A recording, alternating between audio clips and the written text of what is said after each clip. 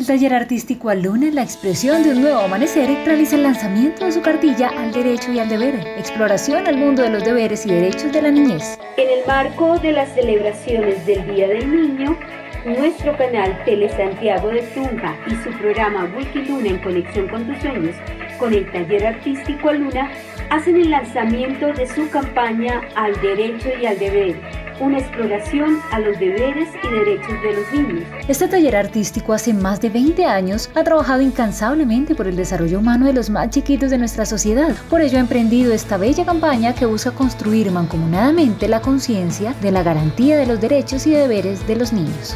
Es una campaña que busca que nosotros los adultos reflexionemos en torno a esos derechos y deberes que han escrito los niños de muchas regiones de nuestro departamento donde nos hablan de esos derechos y deberes con los que ellos sueñan para construir una ciudadanía. Así como el derecho y el deber, en el 2021 Aluna trabajará tres campañas en radio, prensa, televisión y redes sociales bajo la modalidad de alternancia y virtualidad. Campañas como Más Lectura, Menos Red, Moti Alunas y Escucha, todas ellas pensando en la garantía de los derechos de la infancia. Esta campaña la realizaremos en todas las instituciones de nuestro departamento y a través de todas nuestras redes sociales y desde luego de las redes del canal Tele Santiago de Tunja.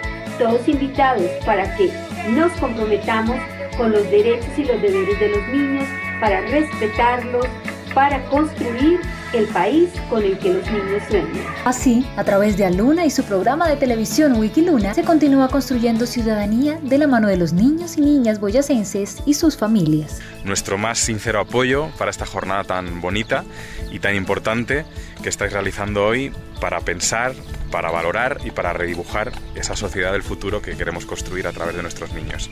Me comprometo a quererme a mí misma y mi cuerpo respetar.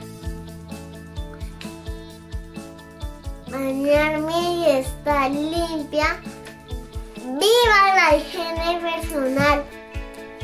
Ah, se me olvidaba. Los dientes hay que cepillar.